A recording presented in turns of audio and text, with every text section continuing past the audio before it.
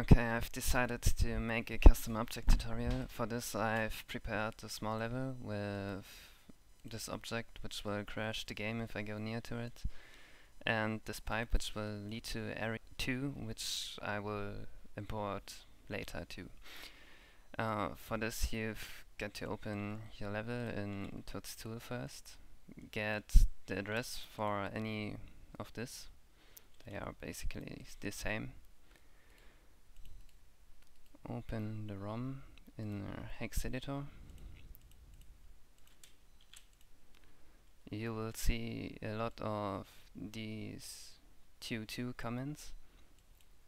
We are searching for the one which has the model ID for the thing I've placed here which is this one.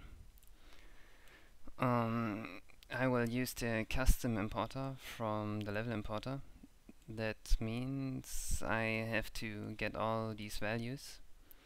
The first one has to be the second half of the comment, to point to the second half of the comment. That means it's 220, uh, 2280104. Uh, to find the max ROM offset, we have to scroll a bit more up. You will see this part a lot of 1.7 comments 1.7 comment has this length. We are searching for 170c and then the 0e part. Um, take the second part of it and add 200000 to it and write down here. This is the max ROM offset to find the exact ROM offset where we will write down our stuff. We need to go to the first part and scroll until we see 10101 stuff which is here. It's I didn't had to scroll a lot because the level I've imported is just two faces and one texture. You probably have to scroll a lot more uh, I'm gonna write this down. Now to get the ROM offset, you take the ROM offset, open Windows Calculator, and subtract the thing you went to at first, which is 2290000. This is the offset in bank 0e but we have to add the bank offset, which is E000000. This will be the RAM offset. Copy this, paste this here. Now I want my object to be solid and I'm using behavior 1E04. That means I will have to find the 2A comment with wrong um, 1E04. Now I'm at this behavior. You see the 2A comment, we have to override the second half of it. That means we add 4 to this number and we are here. Um, now I want to import this object. I export it into my folder. Uh? I'm using Kinopio's UV fix because sometimes textures will screw up without it and it has done good work for me. Oh, and another important part is if your model is supposed to be solid, you cannot center it in the importer because that will create wrong collision. It's a bug that Skelux will probably fix later. Now remove the old pointer because it's wrong. It doesn't matter which on which you click because you will override all values anyways. Um, yeah, copy all the stuff in.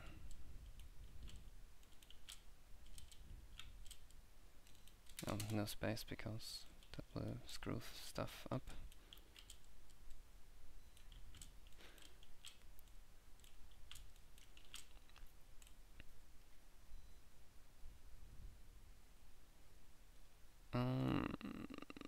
Must have written something wrong. Yeah, one zero was missing, my bad. Okay, another thing before you can actually open your ROM and see your object is you have to change the comment. I've had it to 2.2, which is for geo layouts, but I've only imported a display list, so I will have to change it to 2.1. The difference is that in a geo layout you can put different limbs and shadows and scaling comments or offsets, whatever. In the display list you can't. So now if we open our ROM, we should see the UFO.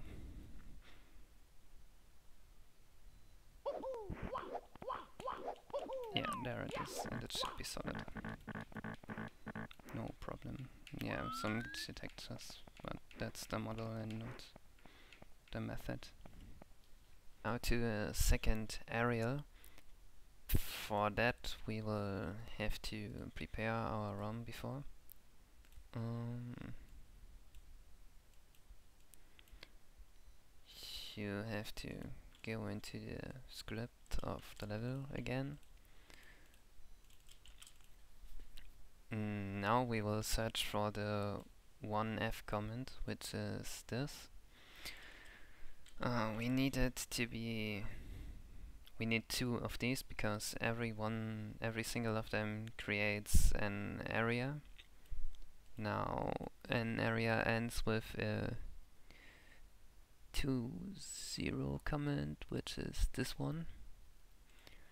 I will place it here this will create a different length but we don't really care right now. I copy some of this. Um, every 2 4 comment which is this length stands for one object. Um, I've copied this many. And every 2 6 comment which is this length is one warp.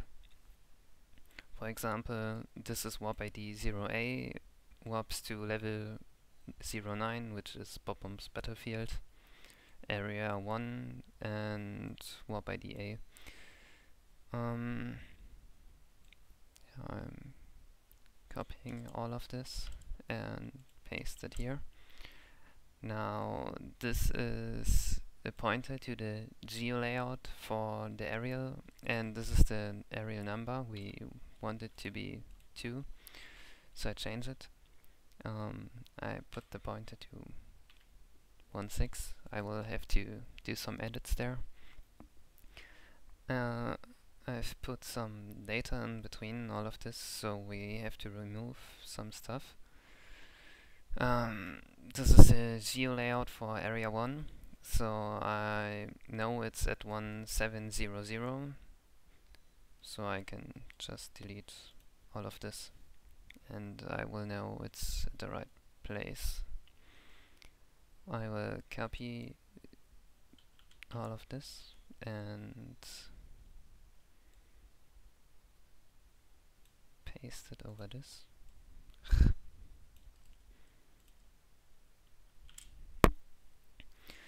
yeah, now you have to find the one five uh, yeah one five zero one comment. Uh, depending on your level, you might have a 1505 comment too. You just have to delete that one because otherwise that will create glitches. Um, this is our pointer. Uh, yeah. Let me write that down quickly. Mm. That's it. Okay. Uh, for an area we need a collision pointer. Level collision is loaded by the 2e comment, which is right here. So the collision pointer is here. Mm, to get the data we do the same thing as last time. So I can just go here, scroll down a bit, yeah, the UFO is a lot bigger than the level, so we have to scroll a lot more. And I will put it here. Again, the ROM offset is this. You can do this in Windows Calculator as well, but it's not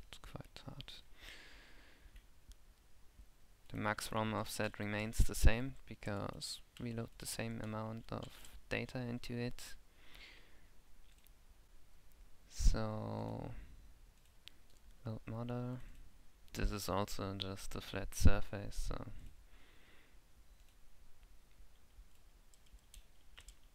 again, we paste all of our data.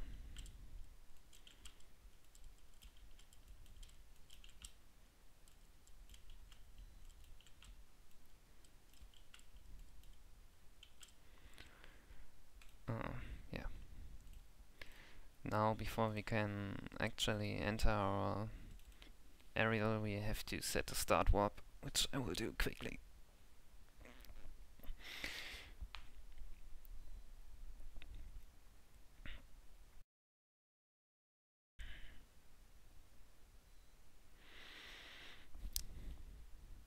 I have set the warp pipe already, so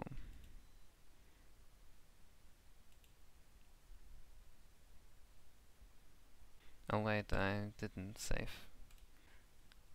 Import model, open ROM and holds tool.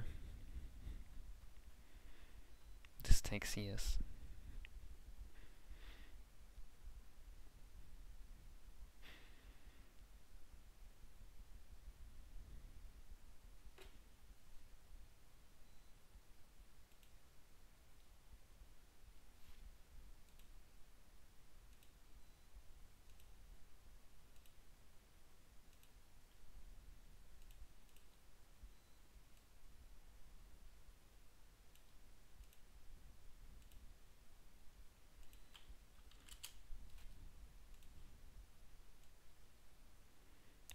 Going to put the warp somewhere into this